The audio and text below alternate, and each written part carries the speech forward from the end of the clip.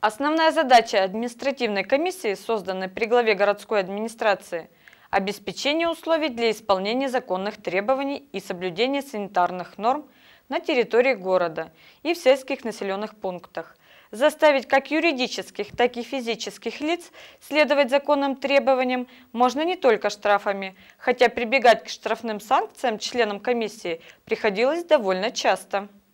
В нынешнем году штрафы административной комиссии составили сумму, превышающую прошлогоднюю. В первый раз, как и требует закон, нарушителей предупреждают и дают время для устранения нарушения. Потом следует штраф, который накладывается комиссией в присутствии работников прокуратуры и отдела внутренних дел. На 16 заседаниях были рассмотрены 12 протоколов, составленных работниками органов внутренних дел, 13 органами местного самоуправления, 14 прокурором и 7 министерством Министерством энергетики и ЖКХ.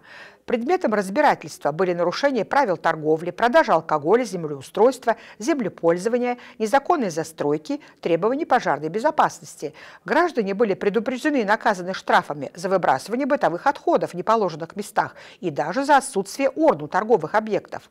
Наказанию подверглись расклейщики объявлений, хозяева, припарковавшие свой автомобиль в неположенном месте. Штраф наложен за нарушение тишины и покоя граждан, ненадлежащее содержание домашних животных, Особое внимание комиссия обращала на непринятие мер по установке на остановочных комплексах указателей, содержащих информацию о маршруте и времени движения пассажирского транспорта, самовольное переоборудование фасадов зданий и использование государственных символов и символики области в нарушении установленного порядка.